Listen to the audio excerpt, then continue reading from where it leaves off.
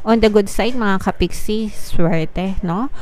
Swerte energy and success energy para sa yung iba sa inyo guys, uh, literal na makakabingwit kayo ng malaking isda, no?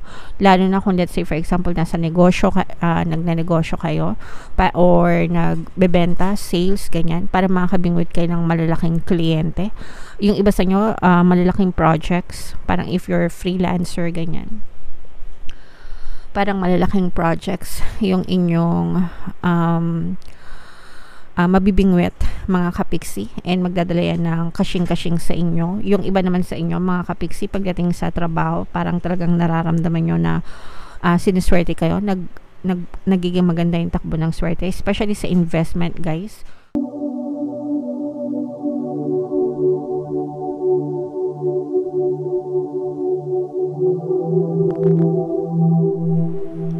Hello guys, hello Leo. Welcome back to Pinoy Pixie Tarot. Ang pamagat ng ating episode for tonight is monthly Tarscope para ngayong October 2023 para sa Leo, Sun, Moon, Rising, Sign, and Venus. General reading lang guys, pwede mag-resonate, pwedeng hindi. Sa dulo ng video guys, magkakaroon tayo ng yes or no pick a card reading. Ito yung deck na gagamitin natin. Pwede kayo magtanong ng isang tanong answerable by yes or no, tapos titingnan natin yung sagot ng tarot sa inyo. Sa dulo ng video yan guys, kaya make sure na tapusin nyo yung video hanggang sa dulo para umabot kayo sa yes or no pick a card reading. Okay? So, tingnan natin uh, kung ano yung mga mensahe sa inyo ng inyong mga gabay. Um, ngayong October guys, comment down below if naka-resonate kayo, okay? So, meron tayong it's up to you na message. Meron tayong be assertive and meron tayong um, remain positive. So, napakaganda ng mga messages para sa inyo, guys. So, kayo yung magdidesisyon yan, no? Uh, mga kapiksi ko, ano yung gusto nyo mangyari. You are uh, the one creating your reality, mga kapiksi. Whatever you focus on, kung ano yung fino-focus nyo ng inyong attention, mga kapiksi, it's always being pushed out in your reality.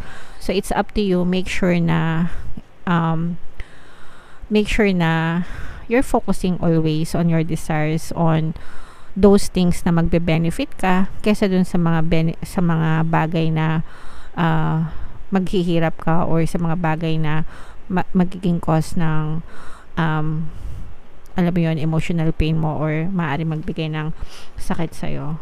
Um, don't be too hard on yourself, mga kapiksi. Don't beat yourself up, okay? Um, and if meron kayong mga also parang sinasabi din dito na follow your intuition mga kapigsi. And yung inyong intuition ay ginagabayan ng inyong mga gabay. Yan yung pamamaraan nila para magabayan tayo sa tamang landas. Uh, magdasal kayo. Lalo na kung may mga bagay na naguguluhan kayo.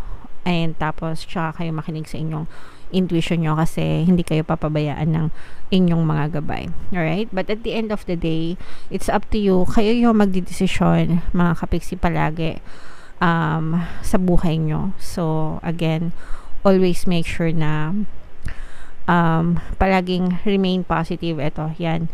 Palaging maging positibo. Positibo. Para, again, yun at yun din yung uh, ma-experience nyo sa buhay nyo guys, again, ulitin ko na naman, whatever you focus on, manifests, mga kapiksi. Kung ano yung fino-focus ng attention, attention, attention mo, yun yung napupush out sa 3D mo, sa reality mo. Kaya make sure na you always remain positive para positive din yung ma-experience mo sa iyong 3D sa iyong physical reality. Be assertive guys, syempre, kailangan kumilos din kayo, no? um, nasa Diyos ang awa, nasa tao ang gawa. Ganun lang kasimple. Yes, okay lang na magdasal mga kapiksi, pero meron kang bahagi sa iyong uh, co-creation. Um, kailangan, syempre, masipag ka, masikap ka, um, yung mga bagay na dapat mong ginagawa sa yung 3D, ginagawa mo um, yung mga favorable sa'yo. But at the same time, sabayan mo ng positibong mental diet. Kapag ka ay pinagsama-sama mo mga kapiksi, yun yung susi para magtagumpay ka, para ma-achieve mo yung mga bagay na dinedesire mo. Hindi pwedeng nagde-desire ka na maging mayaman.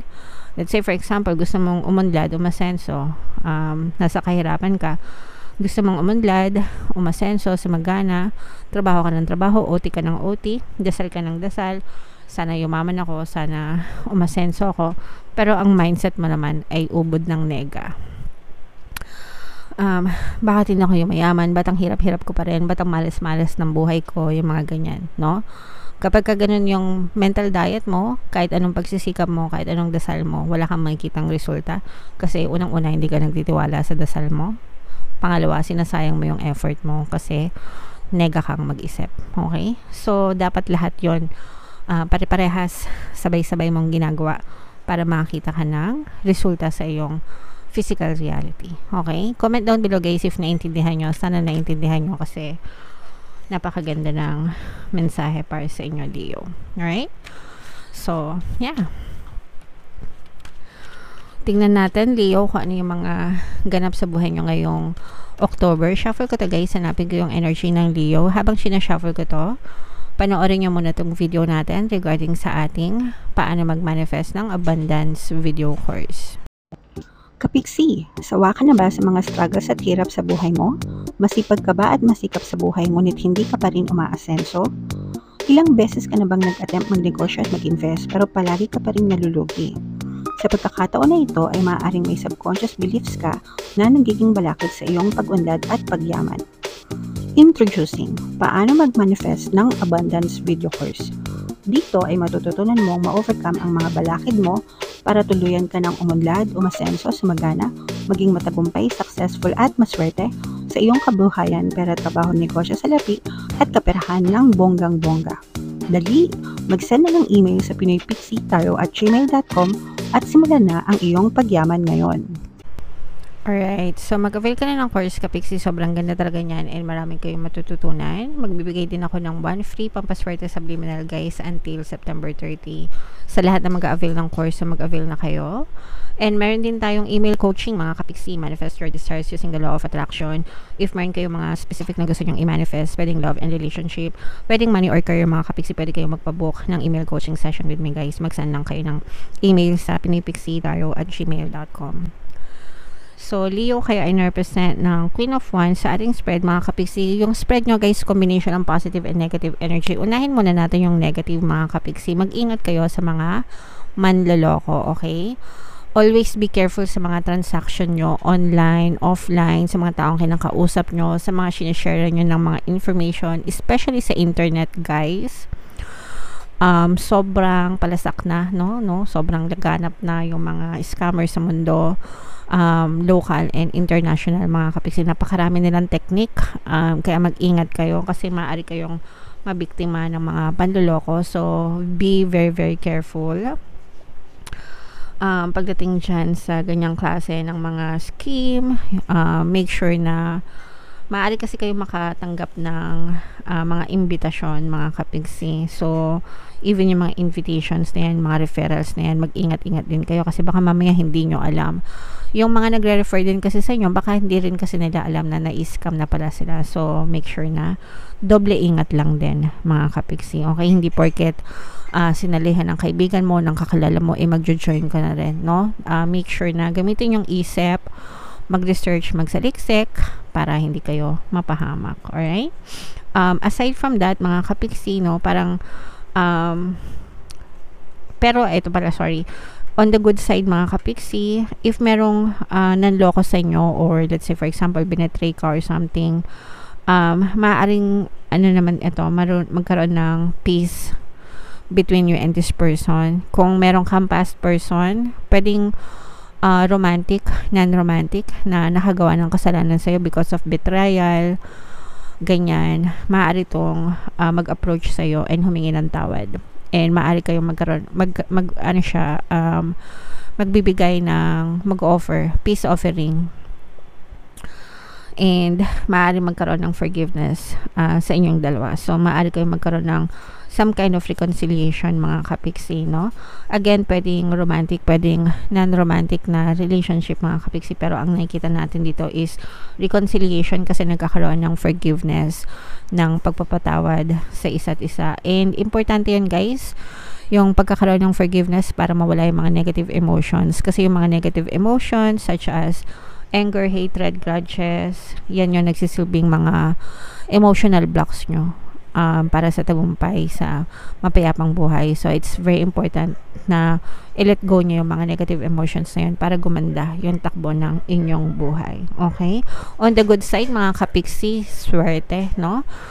Swerte energy and success energy para sa yung iba sa inyo guys uh, literal na makakabingwit kayo ng malaking isda no? Lalo na kung let's say for example nasa negosyo uh, nagnenegosyo kayo pa, or nagbebenta sales ganyan para makakabingwit kayo ng malalaking kliyente. Yung iba sa inyo uh, malalaking projects parang if you're freelancer ganyan. Parang malalaking projects yung inyong um, uh, mabibingwit mga kapiksi and magdadala yan ng kasing-kasing sa inyo. Yung iba naman sa inyo mga kapiksi pagdating sa trabaho parang talagang nararamdaman nyo na uh, siniswerte kayo. Nag, nag, nagiging maganda yung takbo ng swerte especially sa investment guys parang meron kayong mapaglalagyan ng investment na investment tsaka negosyo yun talaga yung malakas na ano hatak dito parang ma makakabingwit talaga kayo guys ng malaking isda. So, na maaari magdala ng magandang swerte sa inyo.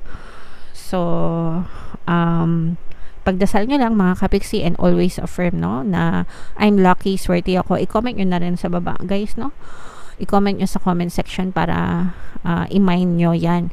Para talagang ma- ma-claim nyo yung energy. Mind success, mind swerte mind good fortune mind big clients no? Kung kayo man ay mga nasa sales ganyan. Uh, mind big projects mga ganyan. Para talagang ma-push out yan sa inyong 3D sa inyong physical reality. Tsagain nyo lang guys no? Kasi talagang uh, may experience nyo yan Itong swerte na to guys, ito yung magpapagaan ng iyong buhay. Maari kayo magkaroon ng pirmahan ng kontrata. Yan, no? Kaya, sa, kaya nga sabi ko sa inyo, sales guys. Big projects, big clients, to. Yung inyong mga big commissions. Yan. Ako, grabe. napapayan ako talagang ma-experience niyan mga kapiksi at saka ito no parang ang tagal-tagal nyo tong tiniis ang tagal-tagal nyo win-work out ang tagal-tagal nyo um, ginapang. So, eventually, ito na, mapupush na siya mga kapiksi. So, kaya nga, uh, tuloy-tuloy lang, no? Remain positive, di ba? Yun nga yung mes- message para sa inyo. Magpaka-positibo lang kayo, remain positive and be consistent. Eventually, ibagkakalob din sa inyo yung mga uh, bagay na para sa inyo, mga kapiksi. Yung iba sa inyo, ayan guys, no? Talagang uh, pera, kasing-kasing magsisimulang maging maganda yung daloy ng uh, pera sa inyo. Alright? And uh, for some of you, maaring ito din yung sa love kanina na, na nakita natin na maaring magkaroon ng reconciliation and maaring magsimula yung magandang relationship nyo with that person. Pero yung sinasabi ko kanina na magiging maganda yung daloy, magsisimula na maging maganda yung daloy ng pera sa inyo. So, dahil sa magbabago yung takbo ng swerte ng mga kapiksi. So, i-claim nyo na yan, i-mine nyo na yan guys sa comment section para talagang uh, maangkin nyo yung mga positive energies na yan mga kapiksi. Okay? Alright. So, comment down below, Leo, if na-excite kayo and if feeling nyo naka-resonate kayo dyan sa mga messages. Yung iba baka nagbebenta kayo ng mga malalaking lupa, ekta-ektarya. Uh, baka million-million yung halaga. So, malaking commission yon Yeah, congrats. um, shuffle natin to mga kapiksi, no? Ito na yung yes or no pick a card reading nyo habang sinashuffle ko to. Itanong nyo sa isip nyo yung uh, tanong na gusto nyo malaman for uh, October. Answerable by yes or no. Meron din tayong membership program guys, no? Um, sa mga gusto mag-join, i-click nyo lang yung join button dito sa video na to.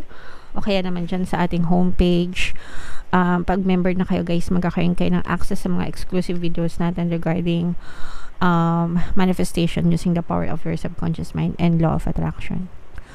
So, ito na. Um, hinga ng malalim, mga kapiksi. Tapos, itanong nyo sa isip nyo yung tanong nyo, answerable by yes or no. Isang tanong lang. And then, pili kayo ng isang card. Ito yung card 1, card 2, card 3. Kung card 1 ang napili mo, ang sagot sa tanong mo ay yes, kung card 2 ang napili mo, ang sagot sa tanong mo ay yes. And kung card 3 ang napili mo, guys, ang sagot sa mo ay yes. So, congratulations, Leo. Kasi puro yes naman yung lumabas sa inyo. Alright? So, comment down below if nakaresonate kayo sa mga mensahe para sa inyo. Leo, ito yung ating 2024 kapalaran mga kapiksi kung di nyo pa napapanood. Panoorin nyo na, super nice, super ganda. And ito naman yung ating success stories ng paano mag-manifest ng abundance video course. Thank you for liking, sharing, and subscribing mga kapiksi and see you again next time. I love you all guys. Have a nice day. Bye-bye.